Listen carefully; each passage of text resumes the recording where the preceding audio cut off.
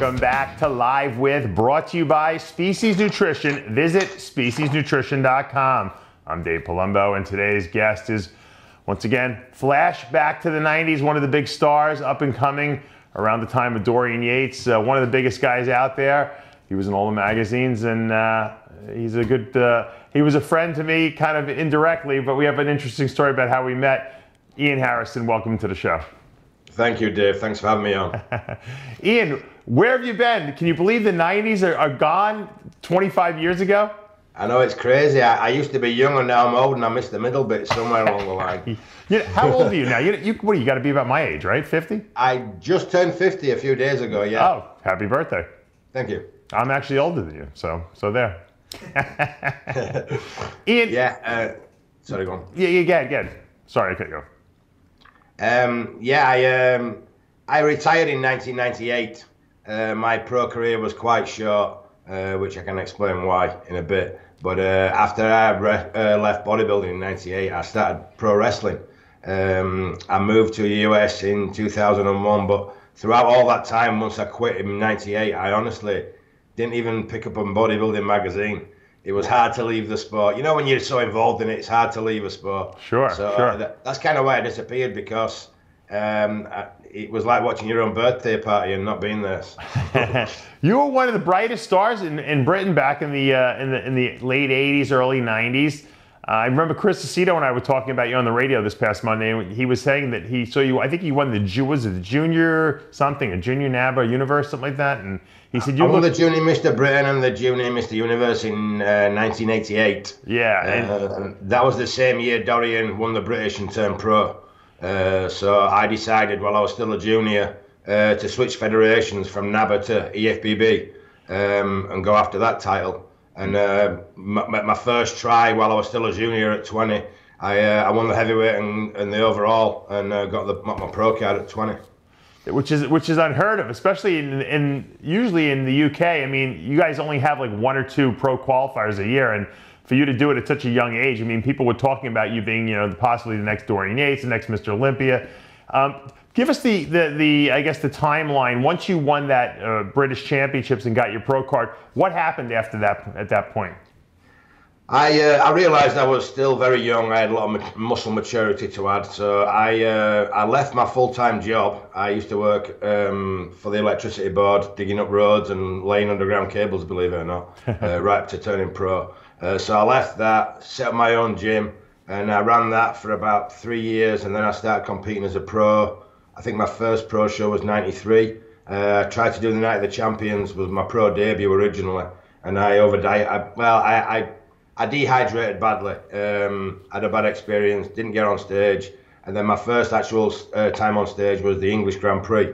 Uh, later that year, I was kind of my arm was twisted. I kind of told I had to do it. Yeah. And then uh, '94, I believe, I did the Night of the Champions, Chicago Pro, and then my best year was '95, uh, the Olympia in '95. Now, how did how did you uh, wait so long? I mean, you really, I mean, you turned pro. I think it was in '89, and then you really didn't do your pro debut. You waited four years to do a pro debut. What were you doing during that whole time period?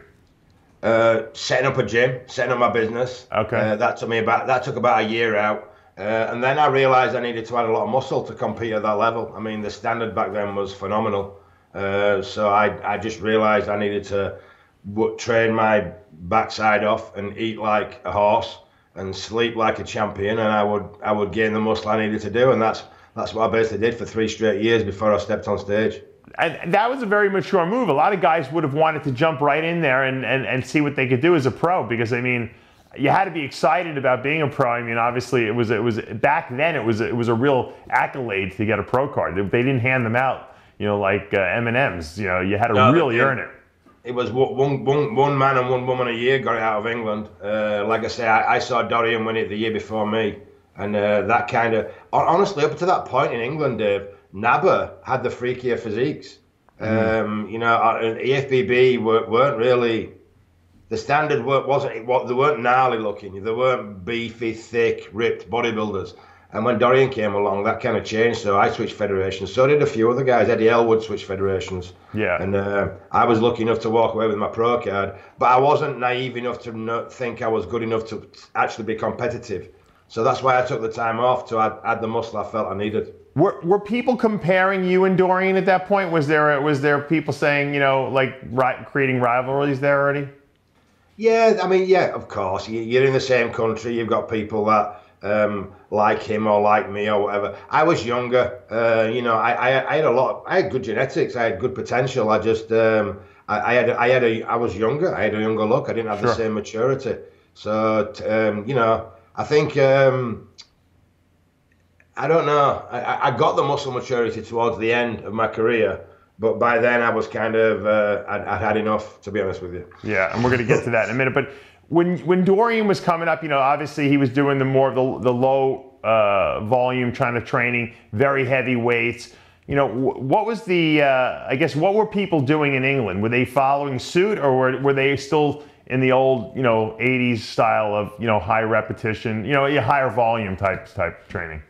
There was there's a lot there was a lot of good bodybuilders in England back then. You know, I mean, I, you, I saw you had a Sean Davis on the other day. Yeah. I mean, I, I, I was like the year behind Sean as a junior, and there was a lot of like really like almost. Uh, but they thought they were doctors, but they weren't. And uh, we all get in rooms and, and come up with all ideas of how to get bigger and uh, how to grow. And um, it just it, it was a very competitive atmosphere you know what I mean? There, there, was a lot of good athletes there. It was a very, very competitive atmosphere. Yeah.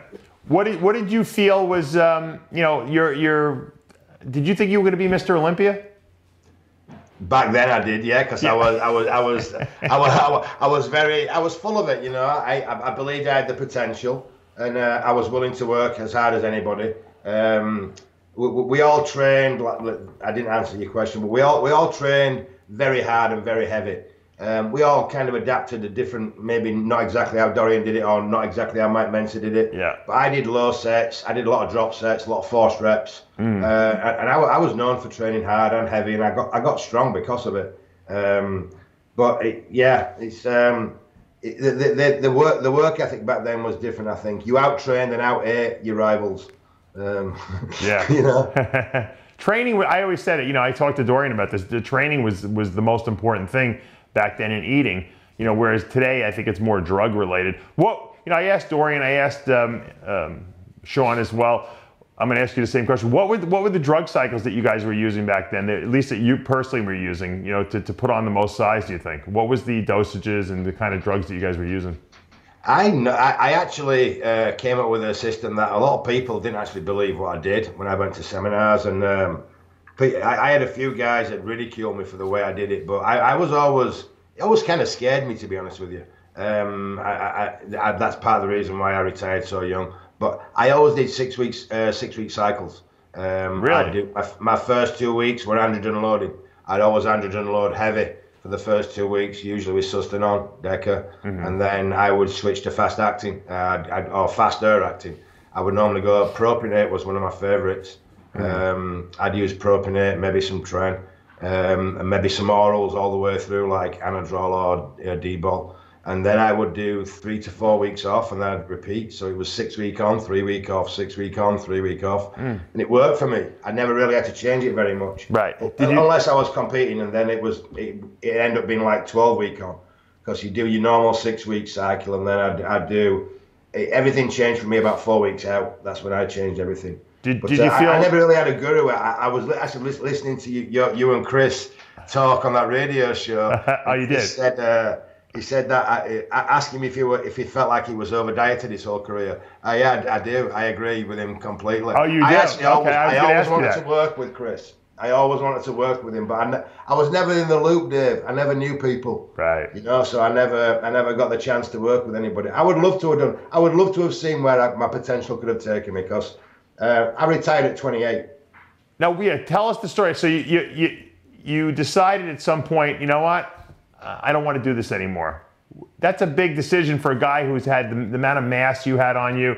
I mean, you were in Flex magazine. I remember seeing a lot of the photo shoots they did of you. I, I remember that one shoot where they had you had they had this like like suspenders uh, or they were like over yeah. you know your shoulder and that it's was like the, me and Nasser yeah yeah yeah you and Nasser I mean it was a great that was an awesome photo shoot what made you say hey I had enough and that was it was it health related was it just mental related what, what was it I honestly, Dave. I mean, you, you were you were competing at that time. You knew what the scene was like. Yeah. It got to the point when I was. I, I, I think that, that the the breakthrough for me was the Olympia in '95. I actually competed in the best condition I'd ever been in in that Right. show. You were. I was 200. I was 279 pound on stage, um, and I knew I could compare with a lot of those guys. But that lineup was strong. I mean, I think Ronnie got 10th that year. Yeah. Charles Clairmonte got joint 10th with Ronnie. It was a it was a great lineup. But because I didn't get a call out, because I didn't get compared at all, I'm not even a looking. It kind of, I felt like it didn't matter what you looked like. It made no difference. It was a name game. It was politics. That's that's how I felt back then. And um, I had a year off after that, and then I came back uh, '97, and then '98. Um, my, my wife, I had, I'd had a, I was married by this time. I had a baby girl, um, and in '98, my wife just broke down actually at the at the airport and said, "I can't do this anymore."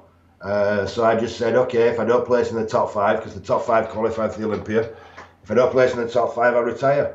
Um, I'm not sure where I placed, but it wasn't in the top five. Nine. So I, I kept my word and I, I retired because I felt like my health wasn't worth. I, I felt like I could do anything and everything and come in bigger and bigger and better and better, and it really didn't make any difference to where I was going to place. That's how I felt at the time.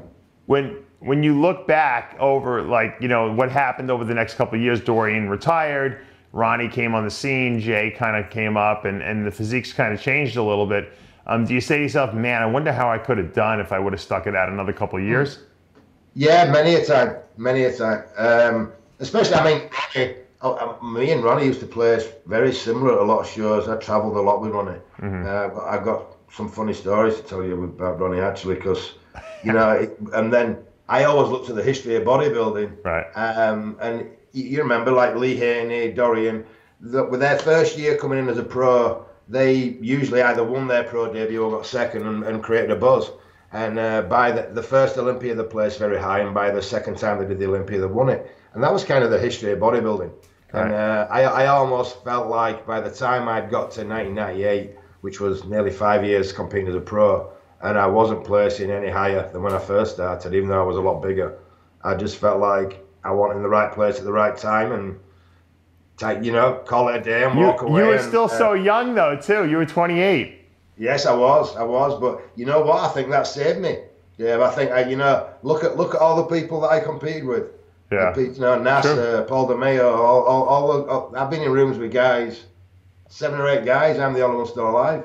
yeah there's, there's some kind of survival mechanism inside of you said hey i better get out of here because this arms Yeah. race might kill me so it was probably a, in, in hindsight probably a good decision talk to me a little bit about you said you mentioned some ronnie coleman stories talk to me about some of the ronnie coleman stories that you have from uh, back in the day We travelled a lot together, doing a lot of the shows at San Jose, and uh, I, I, after the Olympic in '95, we, did the Grand Prix tour. Actually, I don't think Ronnie did that Grand Prix tour, uh, but they had two Arnold Classics that I competed against him in. One one morning, I was in the the steam room at like 5 a.m.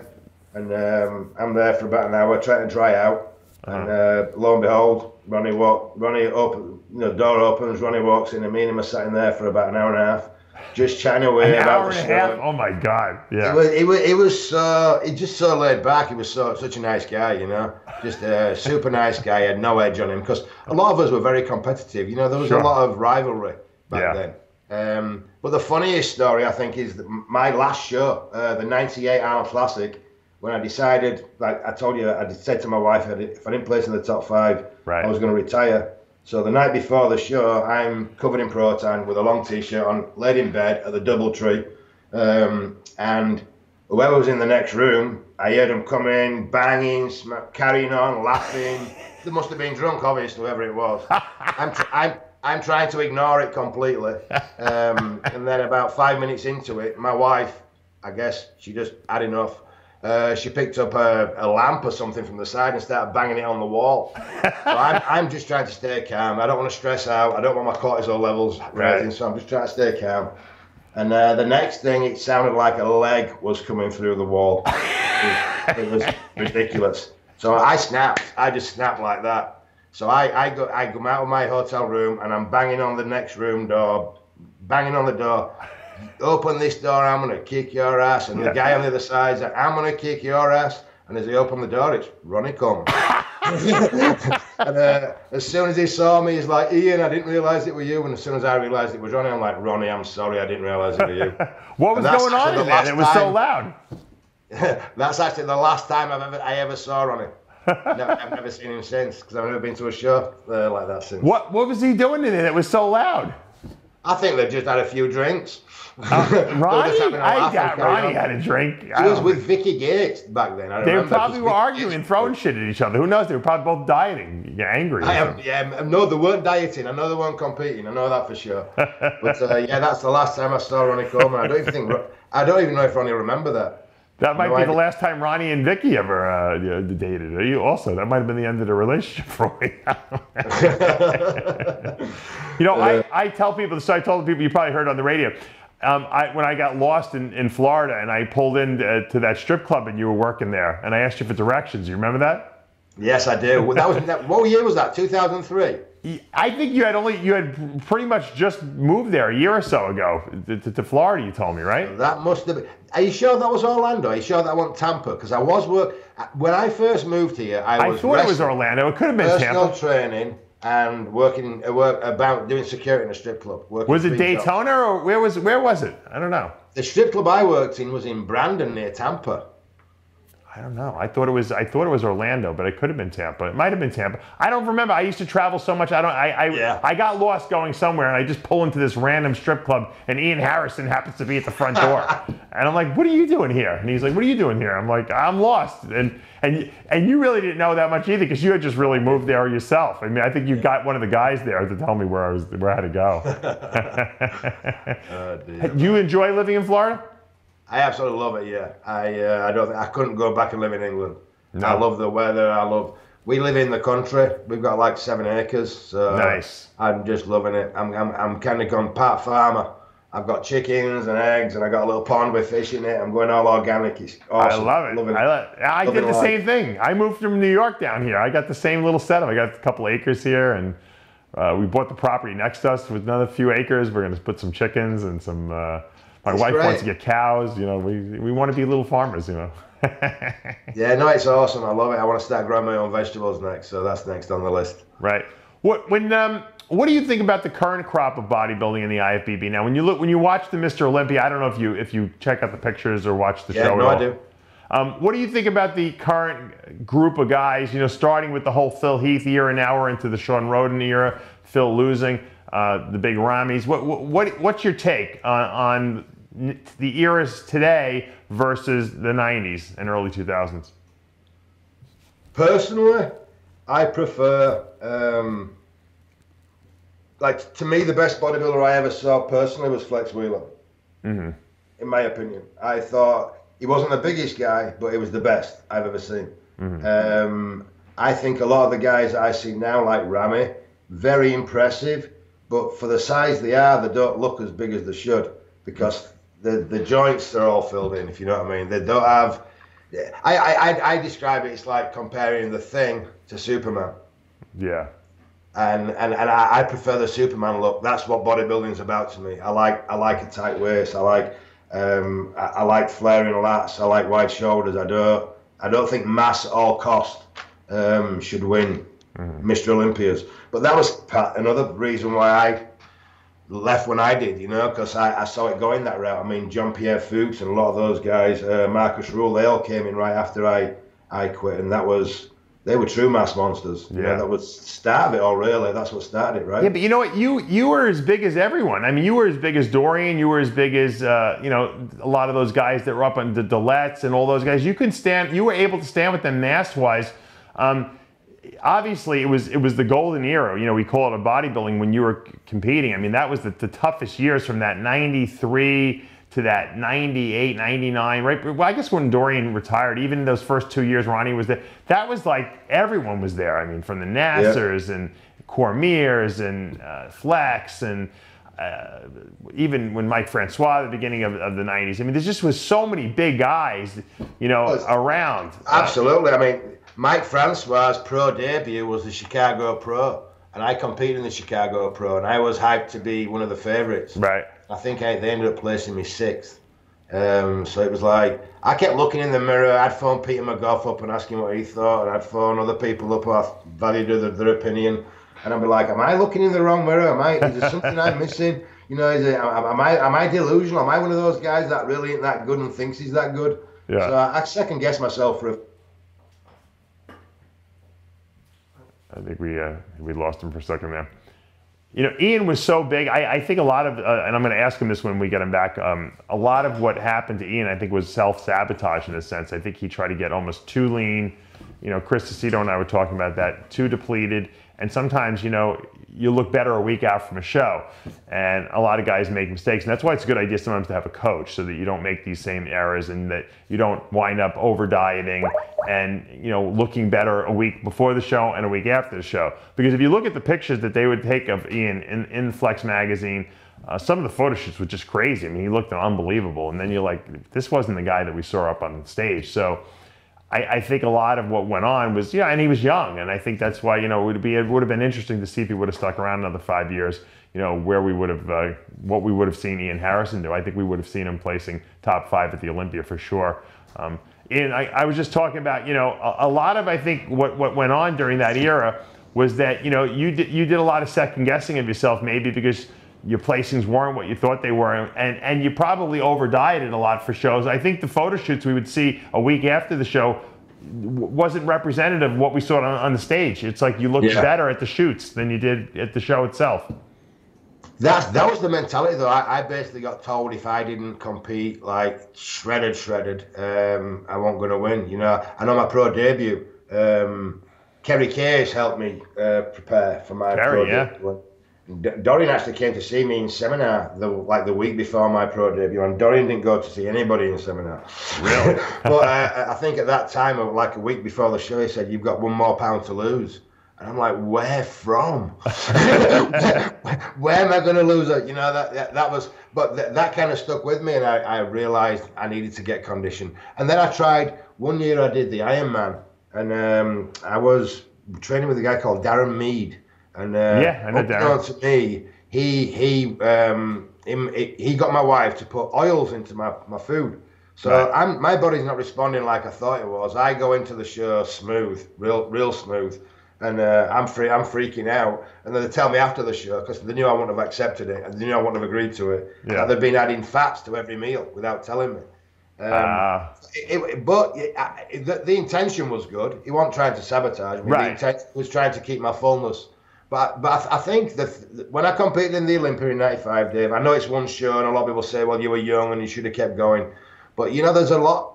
It's not just a show, is it? It's that there's a lot. There's a lot goes into that. Oh yeah, I, I think you know back then people don't realize the Euro- European bodybuilders, with the aside maybe of Dorian, the exception of Dorian, they didn't do well, right? It, it would take you guys a couple of years of kind of continuously competing before people kind of accepted oh, yeah. we know who this guy is now. Now it's okay to replace him. That exactly. seemed to be what exactly. was going on back then. And it's very frustrating. And I was young. I mean, I, I, I, was, you know, I retired at 28. So when I'm coming in, I'm in, my, I'm like 24, 25, 26. So you know, mentally, I'm still, I'm still full of it. Yeah. And uh, I, I, just found it very hard to accept the placings I was getting. And then, then it, it was, it wasn't just about uh, screaming about my placings. I couldn't justify to my wife right the effort, the risk, money, money. Uh, you know, I, am not earning money out of this now. I, I, own a gym. I'm running a gym. I'm living in the gym, um, and it, so it's you know it, you've got to justify it. I, I, think what honestly, I think what happened to me, I got civilized.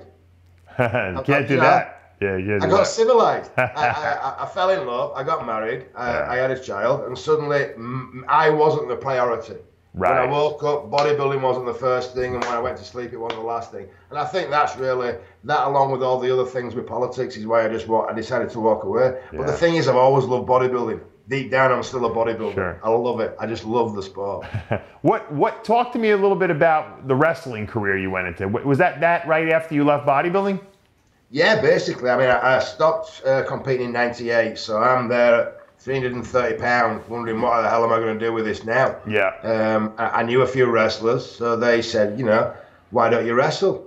Um, what got me into bodybuilding in the first place was judo. I did judo from the age of six, uh, six or seven. My father was a black belt in judo, Um, so I did that from a young age, and that got me into the lifting. Right. Uh, so I knew I could take a fall. I knew I could do all that. I'd done a little bit of acting. I'd done some Sega commercials uh, to open my first gym, and I got Nice. like 20 grand for that. That's Oh, how nice. I got the money to open my first gym.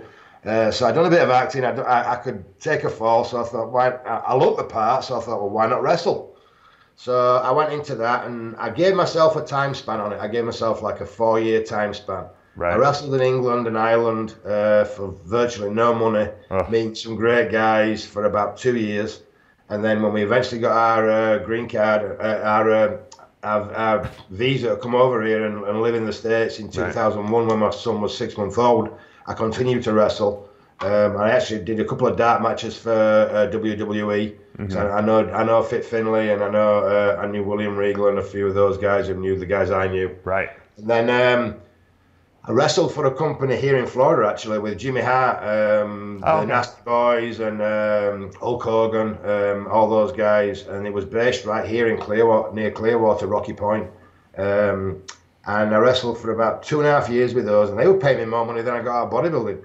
Um, and uh, I, I got to travel, and I got to, you know, it was a great experience. But then one year, uh, the year uh, Road Warrior Matt Hawk, Hawk and Animal, Yeah. year he died, he was like one of my best friends. Ugh. Um, I was real close with Mike, and uh, when he died, I just decided to call it a day. I think I'd been to like nine funerals that year. Oh, And, uh, really? I'd been- wow.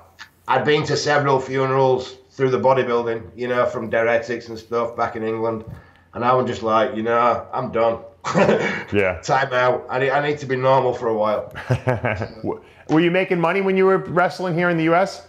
Yes, I was. Yeah, I, I mean, not big money, but I was making. I was. I, they were paying me like a, a grand a week. Oh, that's that's pretty just good. Just to Yeah. practice, and then they paid me. Uh, they paid me for the matches, um, and then it, there, there was a few changes in in that industry, and like I say, all the deaths, and I'm just like, you know, no Did good you for ever, me. did you ever have the opportunity to try out or, or do anything with the? WWE? Yes, I did. I try actually when we lived in California when we first moved here. Uh, Fit Finlay called me one day to go to the Staples Center, so I went up to the Staples Center. I had a dark match. Um, the guy I wrestled with is dead. really? the, Oh, guy, yeah, Uh, the guy I did the dark match in England for WCW is also dead, Jerry. Um, it was just crazy. Everybody I got to know and uh, get friends with ended up dying. And I maybe it was a curse for me, so I figured I better get out, you know. Yeah. No, I guess you, you escaped a couple times uh, death. It seems. Yeah. I, I actually wrestled for t- uh, TN. Is it TNA? Yeah, TNA. I wrestled for TNA when Oh, they you did? first started. I did a live thing for TNA with Ken Shamrock and uh, a few other guys over there. So I met some interesting characters. yeah, Yeah. I can imagine. I know a couple of those guys. They're, they're definitely uh, interesting. They're, they're fun to hang out with. That's for sure. Oh, absolutely, yeah, yeah. We wrestled in Puerto Rico nearly every month, and uh, I know Bushwhacker Luke really well. Oh, so really? we used to go to Puerto Rico and wrestle there all the time, and uh, that's quite a place. That's quite a place.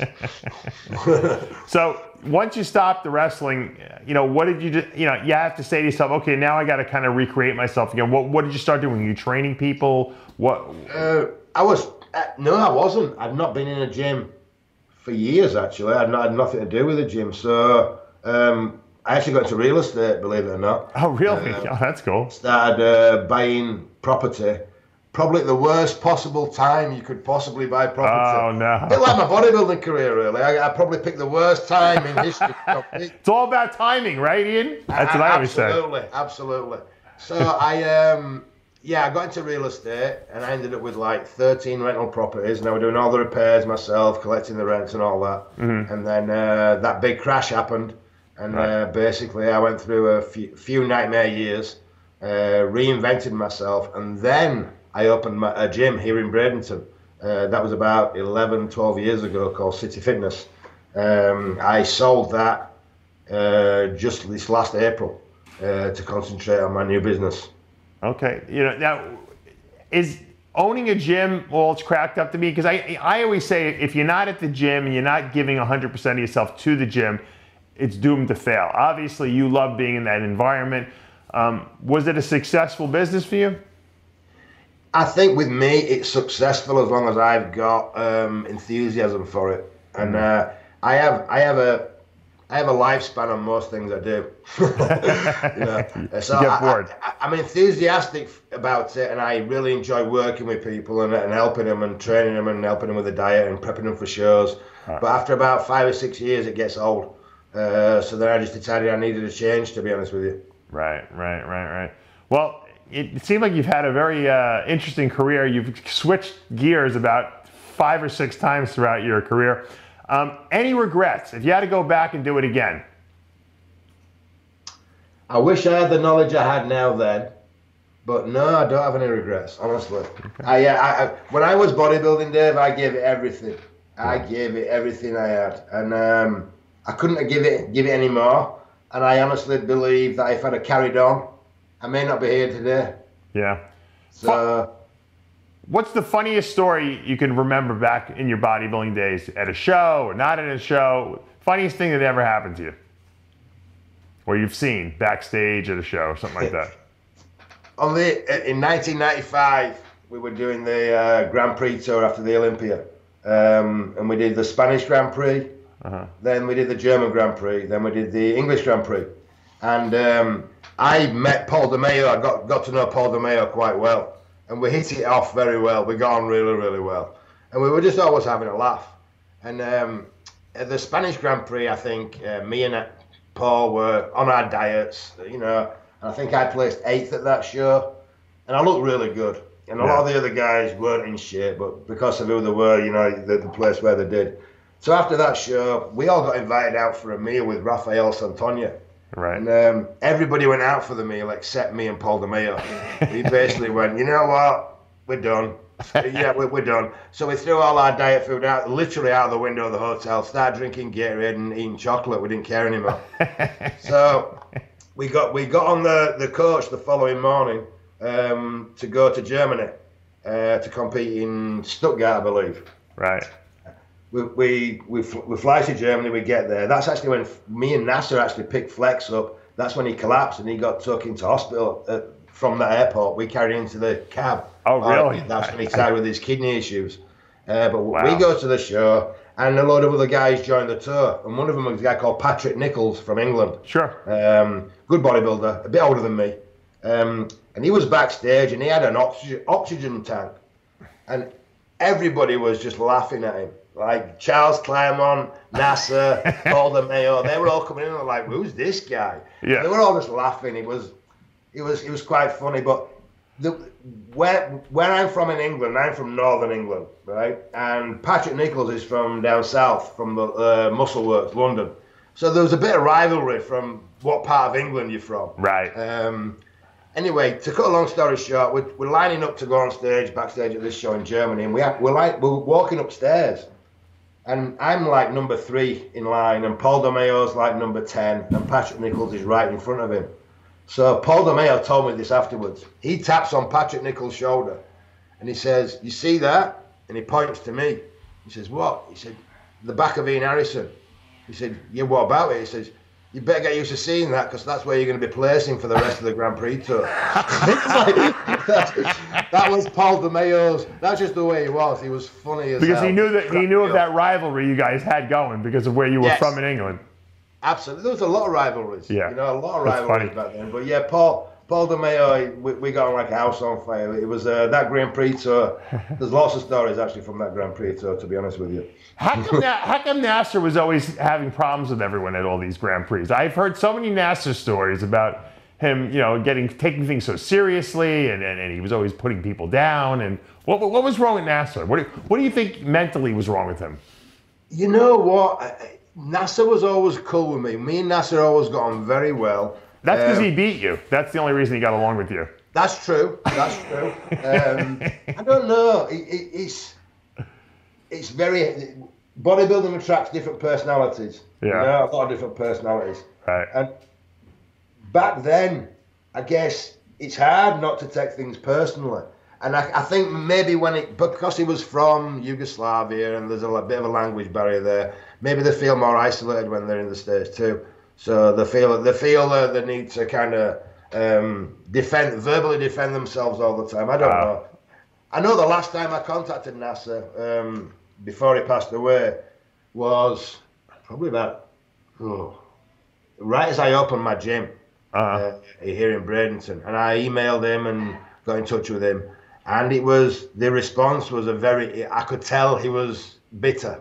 Right. I could tell he wasn't the same man that I knew. He was very. Um, I think he'd got divorced by then. He wasn't very happy with American women, and he's. I, I, I just reached out to say hi, and I got a whole thing about American women and how they. but uh, Ian, you but- don't but understand. You don't like, understand these women. They, they do not. They don't know how to serve you, and they will not uh, take orders from you. I don't understand it. It's in my country. They, uh, they, they, they will do anything you ask of them, and uh, I think I am in the wrong place. like I. I they, they, they take all my money, and I have nothing left, and I have to go back to work, and right. That, that, that's massive. Yeah, yeah. It, ca- char- some characters back there. There really Yeah. were. When we had David Dearth, um, I remember competing with David Dearth in uh, San Jose Pro. We had a laugh then. He's fun Um, too. Yeah, he's a fun Look, guy. there was there was a pro back. Da- Dave Fisher. Remember Dave Fisher? Yeah, I remember Dave very well. Yeah. he, he, he competed in that show too. Um, yeah, I, I mean, you know, I, I, I've got a lot of good experiences competing with a lot of great bodybuilders. Um, and I have, no, I know I don't have any regrets. Who- I have no regrets whatsoever. Who who are your top five favorite bodybuilders of all time? Who do you think are the best bodybuilders of all time in your physique wise? Flex Wheeler, Lee Haney. Um,